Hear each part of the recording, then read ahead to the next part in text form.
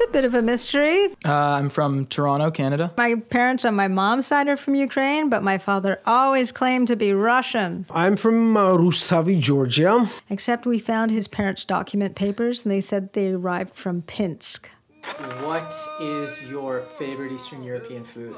It's the Georgian version of pizza, and it's called khachapuri. Khachapuri is really good. My favorite, really, that I like most, I miss, seems like, uh, is is uh, chicken I can't say khachapuri is my favorite. No. and the juice of um, garlic, uh, some Georgian spices.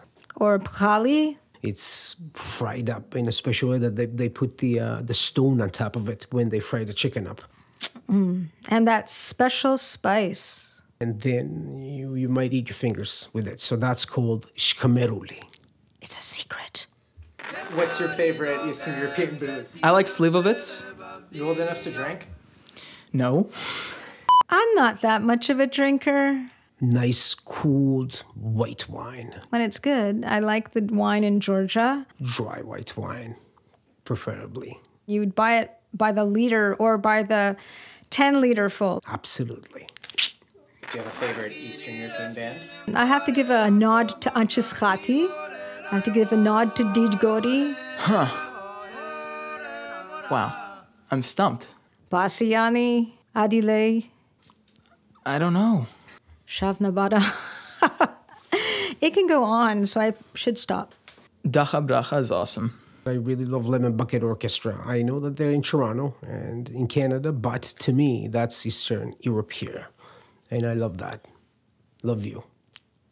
What does your band sound like?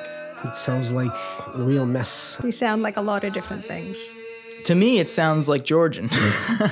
Each time we rehearse, it's quite frustrating, but we love it. And at the end, we create this beautiful sound. We sound like an oral landscape of Georgia.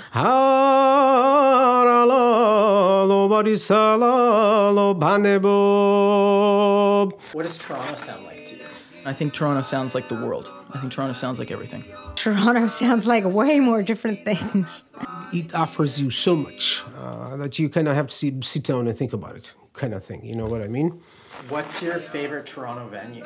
I can say that Drom is one of my favorite spots. Oh. I don't know. Rowanwood, having all these trees echoing our sound back to us. I just love going to the Budweiser stage. The best place to hear Georgian polyphony is around a table, for sure.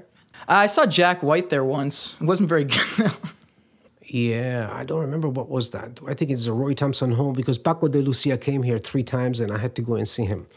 Live or stream? Live. I prefer live. Live. Why? A million times more. Why?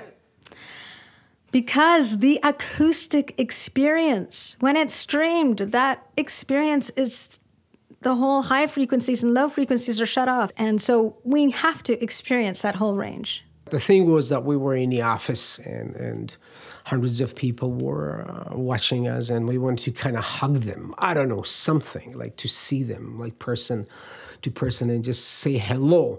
What did you miss the most during the pandemic? Performing live. Being able to be with musicians. I really like to talk to people. And I think I see life moving on for me just like that, no other, no other way. Blok Thursdays live at Drom every. Oh. Blok Thursdays. Every Thursday at 8 p.m. At Drom. Amacos.